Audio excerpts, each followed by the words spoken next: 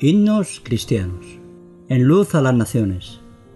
Canal cristiano de comunicación, os presentamos un tiempo dedicado a compartir con todos vosotros himnos cristianos.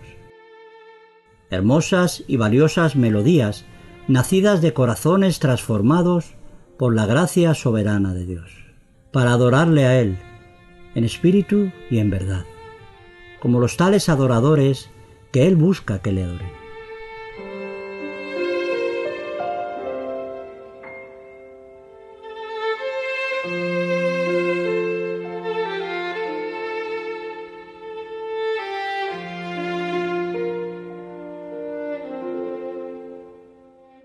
himnos cristianos, en luz a las naciones, una voz de salvación a tu corazón.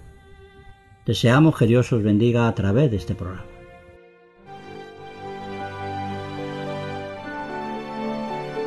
La historia detrás del himno.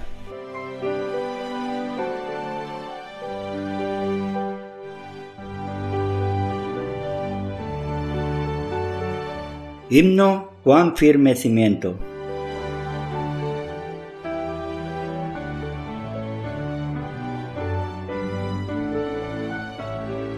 Traductor Vicente Mendoza.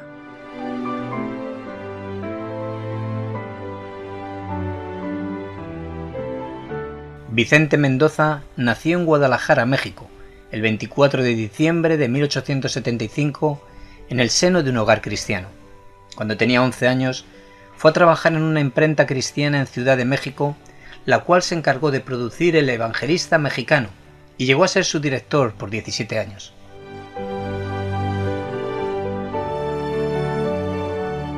Estudió primeramente bajo la tutela de don Aurelio Ortega, aunque más adelante continuó sus estudios teológicos en otros institutos cristianos. Se dedicó a tiempo completo a la predicación y enseñanza de la palabra de Dios, principalmente en México, pero también por un tiempo en California, Estados Unidos. Durante toda su larga vida se consagró al ministerio. Trabajó en iglesias en México, salvo los años 1915 al 1921, en que desarrolló sus labores pastorales en el sur de California, Estados Unidos. Fue muy solicitado como orador y predicador. También dio mucho tiempo y esfuerzo al periodismo cristiano y sirvió sucesivamente como editor de El Mundo Cristiano, El Abogado Cristiano y El Evangelista Mexicano. Sus artículos han vuelto a aparecer en muchas revistas evangélicas en Latinoamérica.